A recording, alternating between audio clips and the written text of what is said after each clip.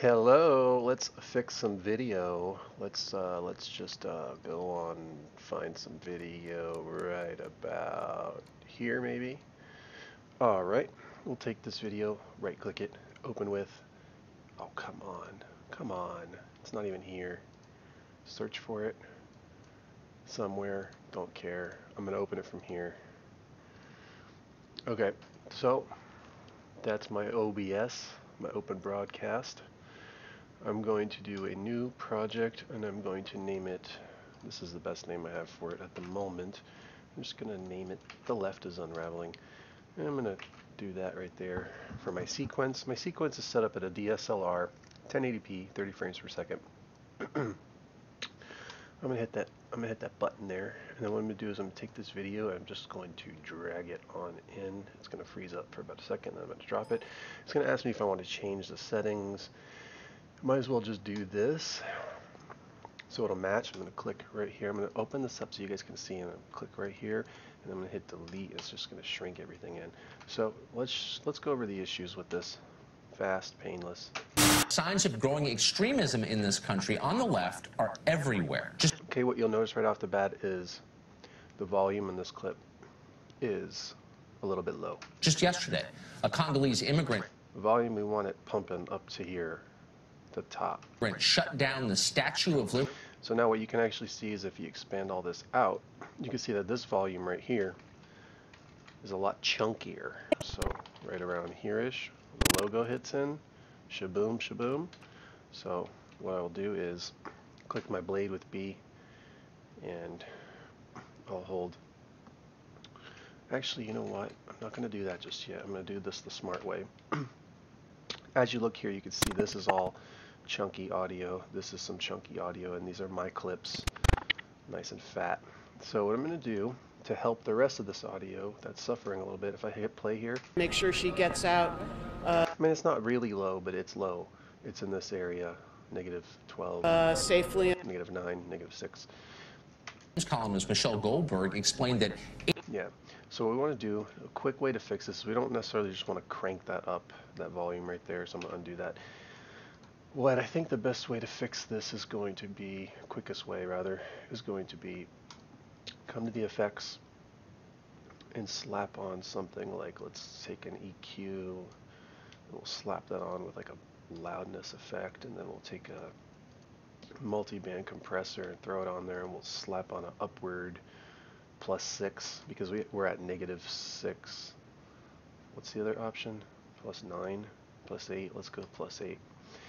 And then, actually, you know what? Let's go plus 6 because we'll throw on another dynamics. The dynamics is an overall compressor, and we'll use this with the limiter. So we'll click the limiter on, drop this down to a negative about point, negative 0.30. When we play it, you'll see we'll already be like near the top, I would imagine. They have gone insane. On MSNBC, New York Times columnist Michelle Goldberg explained that See, it's already better. But now the problem happens is when we hit these clips that are already big and fat with all those effects are probably going to be a little too much. Because what you want to have here is you want to have the audio kind of bouncing around up here, but with some headroom, with some play. But you don't want to just slam in the top that's a little over compressed. She scaled the statue to. See, that's good, but come over here and check this big audio, the fat audio wave. At the monument, calling for the abolishment of ICE. Posting on Instagram, quote, rise and resist is at the Statue of Liberty demanding Trump and the GOP, hashtag abolish ICE. Well, that's not bad either. Out uh, safely. Congo, the people of Congo are disgusted. I think our compressors just fixed everything. Let's see if this is overcompressed. Good to see you. See, it's a little overcompressed. I hear distortion in the audio. That's because my clips here are already big and fat. So what I'm going to do is I'm going to hit my blade, hold Alt, just do the audio, press A to get my little pointer back, hold Alt again, drag the audio, Control T, it's going to crossfade there. I'm going to come to this file and I'm just going to turn these three things off. Ethan, thank you. Good to see you. There we go. On that clip, everything's off. So that big chunky wave will stay good. Over here, Might want to just do the same thing. Right here. Yeah, it's a little much. It's a little com too compressed. There's no dynamic there. So I'm going to hold Alt and just do the audio because sometimes there are glitches in Premiere that I've noticed where when you cut a wave, you might hear a little pop, which is very weird because I, I can't explain it. I just think they're glitches in CS6, the older version, that sometimes they cause little pops when you render the video. So I'm just going to do the audio and then I'm going to click A again, hold Alt, crossfade that. Here. Oh, I'm going to take it off. I'm going to come over here and what I noticed is all this audio is actually big and pretty loud right here. Uh, it was loud. You could see it's all big and fat. So it kind of dies down around here-ish, Members right around members of the group about here maybe. So I'm going to hold, I'm going to blade with B, Alt, cut, A for the pointer, highlight with Alt, Control T to crossfade it, and then I'm going to come to this whole section that looks big and fat, and I'm just going to take these off again and see what happens. Rise and Resist group Now they're a little low over here. who were at the monument call, I'll just I'll just put on the dynamics. Calling for the abolishment of ICE, posting on Instagram, quote, rise and resist is Looks pretty good over here. So I think that's it. I think we fixed the audio. You could tell by the we could tell what we needed to fix by the way that the the audio looks. If you really want to drag this out and get a big look at it. So we have this audio here, which is not really affected. It's just affected with the dynamics. I actually want to come in right here. Cut this cut this clip crossfade it and then on this clip here I'm going to take off the dynamics too because this clip's already good. What you're watching right here. my, my pre-made logo clips are already maxed out. That's why they look this big and fat. They're already you know pumped up okay so the last thing I'm going to do as a bonus here is I'm just going to I'm going to come over here and go to my project. I'm going to come over here to uh, new item adjustment layer. I'm going to throw this adjustment layer on top and drag it out. And then I'm going to oops, I sorry I locked it there. I didn't mean to do that so I'm going to come to it. And what I want to do is change a few things. I'm going to go to the effects. I'm going to throw a fast color corrector on it. And it's not going to be easy to just color correct everything because they're all different clips. But what I can do is I can pop a little contrast in. I can bring up the mids a little bit for a little brightness and that makes it a little more slightly more washed out. So I'll add back some saturation with like 110 I don't want to overkill it. And then I'm going to throw on an unsharp mask. Scroll down for that. It's here. And I'm going to put the radius at about 3 because that's a decent radius to do some fine lines making them too fat and then I'm going to pump up the amount to maybe like 60 or 70 ish see what happens.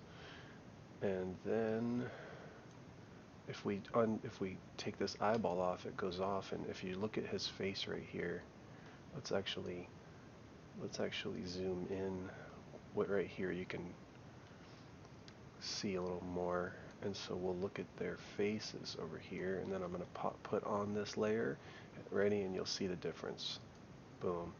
Now it's a little a little pixelated. I mean the footage is bad to begin with but if you compare between the two I might have overdone it a little bit on the sharpness so maybe pull it back to um, you know 60ish and then maybe even bring the thickness up. The more the higher you go on the radius the, the thicker the lines are going to be. That's a little much. So possibly the thick the thicker the sharpening will be.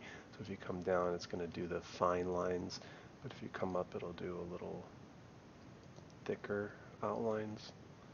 And actually sometimes I'll, I'll go ahead and I'll do the thicker ones and just put a little bit in because if you were to unclick it you just look around his mouth here and unclick it off, click it on, it makes a minor adjustment.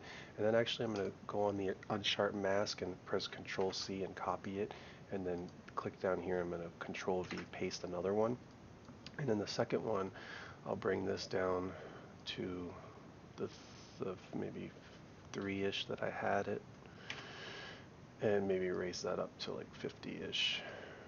And so now I actually have two unsharp masks on here, which are doing different things. One is doing a thicker line, and one is doing a thinner line. But the combination of the two makes for some nice sharpening. So if I take this off and you check again, see how like washed out and bland it all kind of looks and blurry. But when I pop this on, I have everything sharpened and popped more colors and you know, you can uh, just make it look that much better and put this on fit. So right off the bat, let's take this off, and you can see not a major improvement, but it does. It pull, pulls in some. I might even want to. I might even want to um, saturate it a little more, like 115, to give it just a little more color, and possibly bring the darks into I don't know, maybe 10 Just give it like a little more pop. So that this is off, this is on. This is off, look at her shoes, and then you watch the brightness kind of, now it's on. See the detail in the statue. Alright, I think that's it. This is off, this is on, off, on, and I think that's it. I mean, he's a little reddish here with it on, off, is eh, it's already kind of reddish. But I mean, you can go in and tweak to your liking and you can chop up the clip. And ideally you want to do this when the clip is already chopped up into different clips, but this is an overall video that was already edited once. So it's got music and everything included in it.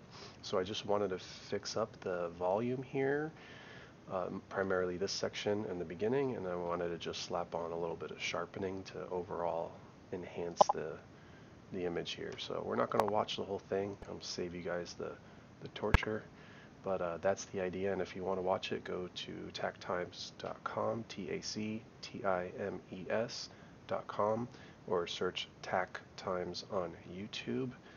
And I'm not sure what the title of this video will be, but I think it's going to be The Left is Unraveling, unless you can uh, come to the channel and post in the comments and give me a better title for it. Alright, I think that's it. I'm going to press Control E to export. I'm going to change from AVI never want to export an AVI. It's horrible.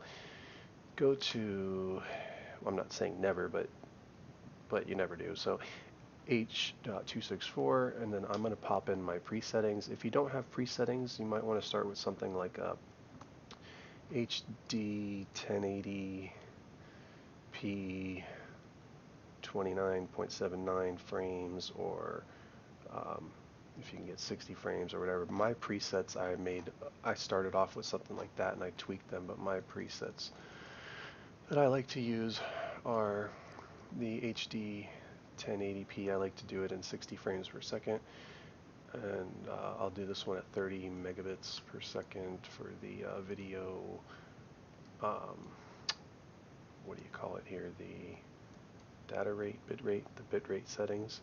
I'm going to go with 30 um, actually, you know what? I'm going to check and see what this original file had. Right click it, properties, details, and over here it's at 24. Okay, yeah, so it's in that ballpark, 24,000 kilobits, which equals 24 megabits. So it's in that ballpark over here at 24. So I'll put 25, and um, everything's set up for me.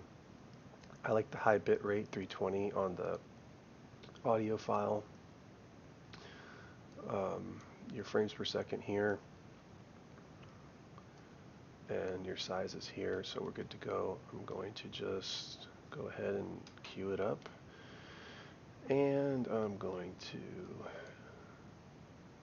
export it and we'll see this video is seven minutes so it might take a little while but it shouldn't take too long once you slap on um, all these video effects it is going to take longer because you're affecting every frame rate here. Uh, sorry, every frame you're affecting, so it's going to be a little. If I take that off, that on, it's better with it on. All right, so this is going to go for a while. It says it's going to take an hour and 20 minutes. Um, I suspect it might speed up a little more than that, but that's due to the fact that it's full of effects on here. Alright, so um, the effects on here is not, not really going to make your video size any bigger than it would have been if they were not. It's just going to take a little longer to render and export everything, uh, but the upload time will be the same. It says an hour and 16 minutes. Um, yeah, there you have it. It's elapsed one minute. And that'll be it. That's it for today's tutorial. Um, have a blessed life. And I'm out. OBS. OBS, where are you, OBS? There you are, OBS. Goodbye, OBS.